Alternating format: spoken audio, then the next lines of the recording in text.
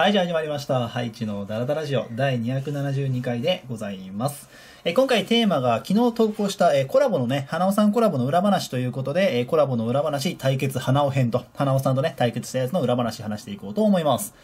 で、えっと、ちょっとね、隣に今息子がいるので、ちょっとね、咳が出ちゃうかもしれないんですけど、まあ気にせず聞いてみてください。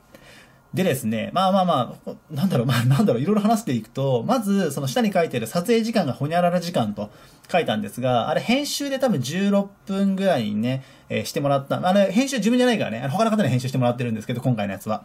えっ、とね、撮影が2時間半ぐらい、あれ。あの日ね、花尾さん家に自分止めてもらったんですよ。あのー泊まってもらって、で、花尾さん側で2本かな動画撮ったのは。で、自分側も2本撮って、あと1本も、ちょっと時間た経ってからなっちゃうんだけど、また投稿するんですが、4本で何時間かかった全部で。ほんとね、5時間 ?4、5時間 ?4 時間かかったのかな？ああのね、対決のやつが一番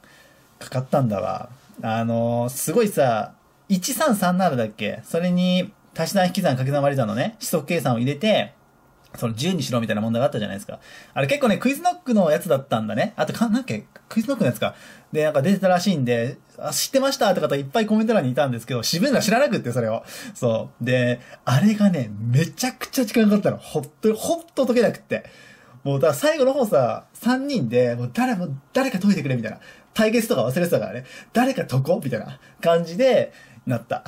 ほんとね、もう申し訳なかった。花尾さんにもデンガンさんにもね、すごい時間をいただいてしまったんですが、でも、こう見ていただいたみんなのコメントとか読ませてもらってると、まあ楽しんでいただけたようで本当に嬉しかったです。素直に嬉しかった。うん、なんかもっと、まあこれまあ今翌日の日曜の昼に撮ってるんで、投稿してからまだ半日ぐらいしか経ってないんですけど、えー再生数がね、ちょっといったらいいなと思います。本当に。はい、本当ありがとうございました。皆さん見ていただいてね。で、あの撮影さ、まあ、撮影した時には、え花尾さん、デンガンさん自分が出演してて、まあ、キムさんがね、問題出してくれてて、あとは、えっと、呼び乗りの匠くん、ね、匠先生が問題作ってくれて、伊沢さんも問題1個作ってくれて、で、ノエリンね、ノエリンさんも1問作ってもらったのね。まあ、いろんな方に協力してもらってあれ、できたんですけど、あの撮影で一番大変だったと思うのは多分ね、多分、キムさんです、あれ。あのね、ほ本当に申し訳なかった、キムさん。その、キムさんいらっしゃってたんで、その問題をね、出してもらおうってことで、まあ出してもらったんですよ。で、自分も、もともと、まあ、匠くんにもらってた問題は、自分はもう、もちろん初見になるように見ないままデータだけもらって、で、そのパソコンに入れた状態でキムさんに渡したのね、パソコンを。で、やったんですけど、あんなにかかると思わなかったの、撮影。まあ、正直、まあ、7問だし、全部、7問かな？だったから、まあ、言っても1時間だろうと。まあ、3、40分で終わるんじゃない？トーク盛り上がったらちょっと伸びるかなぐらいに思ったらさ、2時間半、キムさんずっといてくれたからね。あの、ヒントをさ、出しながら動画が作りやすくなるようにやってくれてて、いや、申し訳ねえ。もう本当次キムさん会った時には、何か差し入れしなきゃいけない。何がいいでしょう。あの、キムさんファンの方いらっしゃったらちょっと教えてほしい。ね、キムさん本当すいません。ありがとうございました。まあ、そんなこんなでやって、まあ、そのね、まあ、ノエリンさんの問題とかで、問題をその、早解きをやろうって決めた時に、もう問題を誰かに作ってもらわなきゃいけなかったから、もうガチでやりたかったんで、そう、だから、もうパッて思いついたのがまず呼び乗りの匠くんだったの。でも任せて、で、案の定だよ。案の定すっげえ難しいの降ってくんの。でもね、そのおかげですごい動画も盛り上がったんで、ね、ありがたかったですね。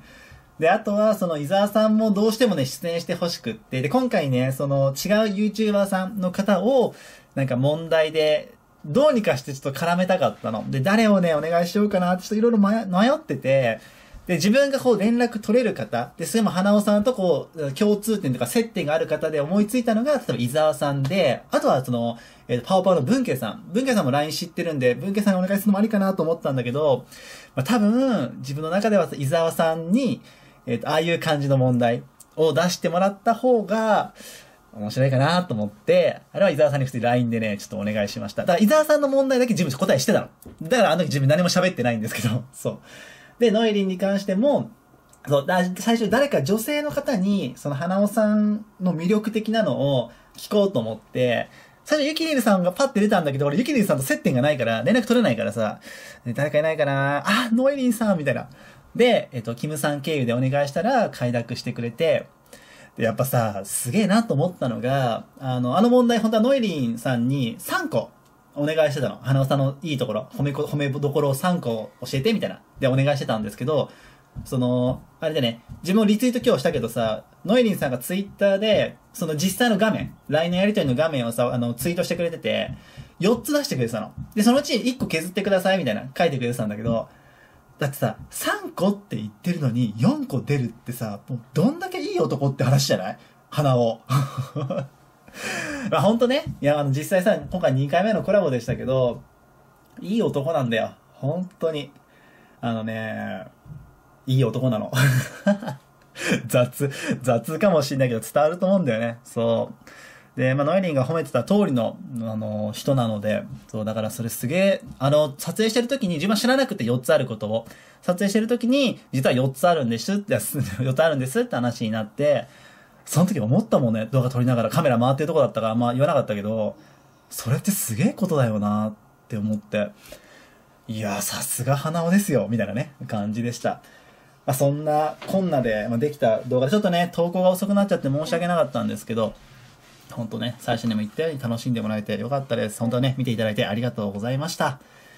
でですね、あの、先週のダラダラジオで、その、勉強トークね、今年ちょっと増やしたいな、コラボ増やしたいなって話をして、誰の見たい？みたいな、をコメント欄にみんなに書いてもらったんですよ。で、結構いろんな方がいらっしゃって、で、やっぱり一番、まあ、自分ちょっと集計はしてないけど、多分一番多かったのはやっぱ虫メガネさん、虫さんだよね、東海オンエアの。あのね、分かってる。虫さんはね、俺も話したいんだわ。話したいんだよ。で、しかもね、一応相互フォローしてくれてるからね、DM 送れんだけど、ちょっとね、まだ勇気が出ねえ あの、前も話したけど、結構コラボ何回かいろんな方にね、結構お願いしてて、断られることのが多いのね。割と。だから、ちょっと一回断られたらさ、やっぱ二回目って行きにくくない？一回告って振られた相手にもう一回告るのってやっぱちょっときついじゃん？だから、ちょっとね、まだタイミングを見てる。虫さんに関しては。でもね、実現したい。虫さんの話は聞きたいよね。純粋に聞きたい、俺が。そう、と思って。で、あとは、まあ、いろんな方いらっしゃったよね。まあ、ゆき、ゆきねさんはいつも言われるからね。だからゆきねさん接点がないからちょっとまだ難しいんですけど、俺のこと知ってるかどうかも怪しいからさ、ゆきねさんね。で、あとね、あの、クイズノックのこうちゃん。こうちゃんさんね、よく見てるなと思うんだけど、自分あの、クイズノックのこうちゃんと地元が一緒なの。そう、めっちゃ、本当近所なの。近所って言ってもあれだけど、チャリで普通に多分15分か20分で行ける距離が地元なのね。そう、だから、普通に会いたくって、前回あのコラボした時、こうちゃん会えなかったから、あれ次、こうちゃんさんはね、普通に、そう、勉強トークじゃなくても、その地元のね、普通にぶらり旅とかやりたい、二人で。まあ、叶うんだったらね、まあ、今度、今度まだ決まってないんだけど、あの、伊沢さんは今度ご飯食べ行きましょうって話になってるんで、まあ、その時にでもね、またなんかでしましょうみたいな。個人的にはね、なんかちょっと体動かす系のね、コラボしたいなって勝手に思ってるんですけど、そう。